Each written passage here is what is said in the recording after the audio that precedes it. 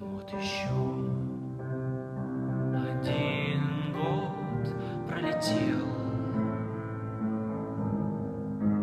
но свой след на прощание оставил. Незавершенную уйму дел, чтобы рано печали незавершенную уйму дел, чтобы радость не новый встречать.